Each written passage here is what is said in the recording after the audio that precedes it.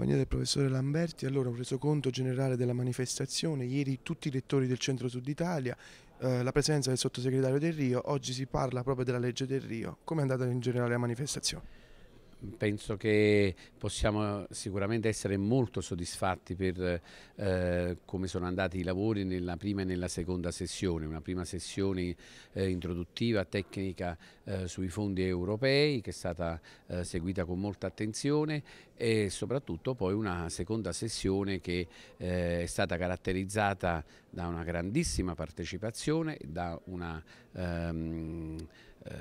relazione del sottosegretario eh, Del Rio eh, introdotto dal nostro magnifico rettore che poi ha, ehm, eh, si è tradotta anche eh, in una serie di interventi dei magnifici rettori delle altre eh, università me meridionali. Io penso che dai lavori di ieri siano venute anche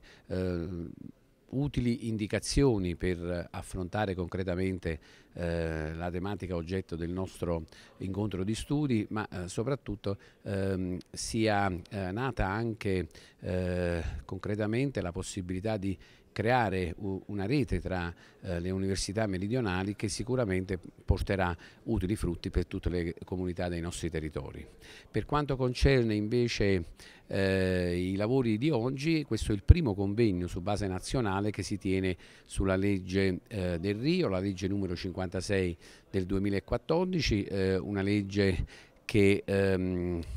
eh, tende a riordinare tutto il sistema di governo degli enti territoriali, eh, una legge che al momento è anche oggetto di una eh, pronuncia della Corte Costituzionale per una serie di impugnative che sono state eh, ehm, sollevate in particolare dalla Regione Veneto, dalla Regione Campania ma non solo e ehm, il confronto tra eh, docenti provenienti da diverse università italiane e soprattutto anche la presenza autorevole del Presidente emerito della Corte Costituzionale, il professor Gaetano Silvestri, che vorrei ricordare è stato anche relatore della famosa sentenza 220 del 2013 che dichiarò incostituzionale il decreto legge che eh, nel 2012 eh, sopprimeva eh, le province. Quindi ehm, un incontro di grande interesse scientifico, di grande attualità che sicuramente ecco, insomma, eh, contribuirà a dare anche un ulteriore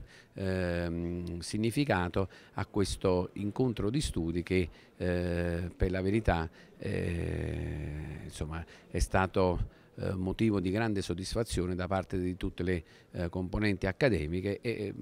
possiamo dire che anche con questo eh, incontro di studi è stata scritta un'altra bella pagina di vita del nostro Ateneo. Compagnia del professore Raffaele Bifurco della LUIS di Roma, allora eh, volevamo trattare oggi la legge del Rio, possiamo capire quelli che sono gli eh, orizzonti di questa legge e cosa porta al Paese?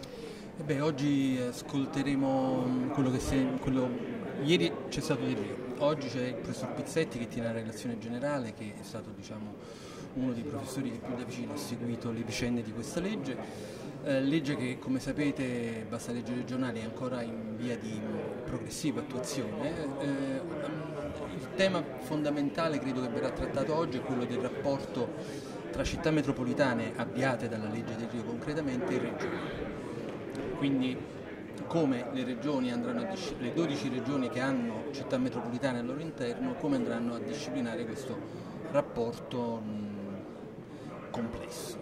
Ecco, giusto un, un, punto, quello di ieri, dove si sono incontrati tutti i rettori del centro-sud Italia, eh, quali potrebbero essere gli scenari che si possono aprire?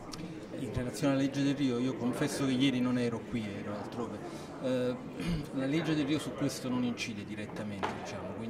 so cosa è stato detto ieri sul tema dei fondi regionali. So che il governo ci sta lavorando attivamente, credo che Del Rio abbia parlato di questo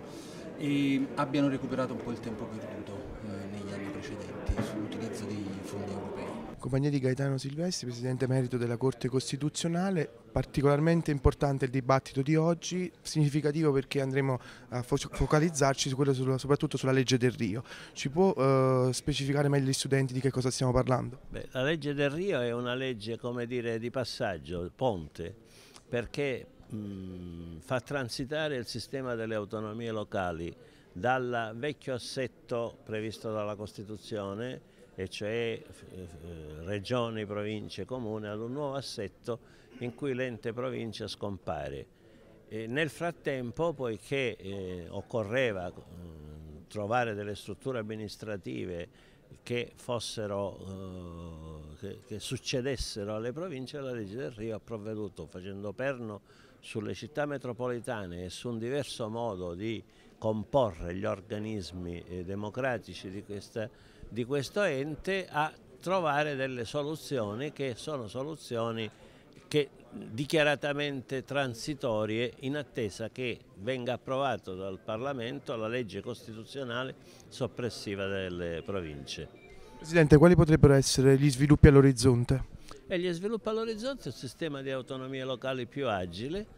che veda imperniato non più su uh, appunto, regioni, province e comuni, ma imperniato essenzialmente su regioni e comuni con eh, aggregazioni e strumenti di governo intermedi che non siano però eh, enti dire, con una struttura pesante come quella delle province.